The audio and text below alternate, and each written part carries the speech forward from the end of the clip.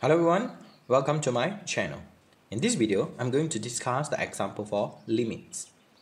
Find the limits when x approaching 9 for the function x plus 3 multiplied with square root of x minus 3 over x squared minus 7x minus 18. First, substitute the value into the function.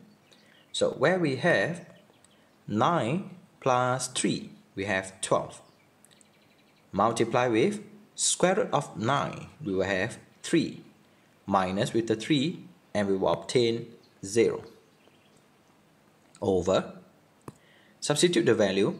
9 squared we will have 81 minus with 72 we will have 18 minus with the 18 and again we will obtain 0 so where we have indeterminate form. So there are three ways of strategy that we can use to solve this kind of situation. Number one, multiply by the conjugate. Number two, factorize the situation. Number three, long division.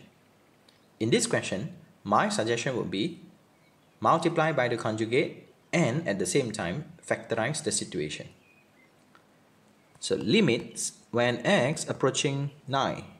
For the situation, x plus 3 multiply with square root of x minus 3 over, kindly factorize the situation and we will have x minus 9 multiply with x plus 2.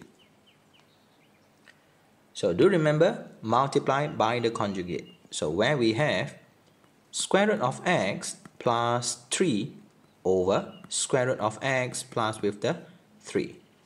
So next what we have to do is to expand the situation. Do remember only expand for one part. So for this question, my focus will be on the numerator.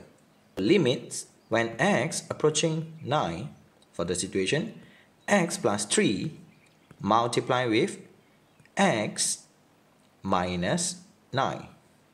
So do remember when we multiply with the conjugate, so the formula that we can apply would be a squared minus b squared over x minus 9 multiply with x plus 2 multiply with square root of x plus with the 3.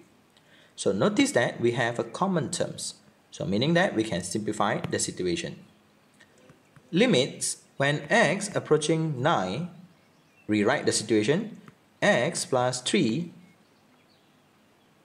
over x plus 2 multiplied with the square root of x plus with the 3.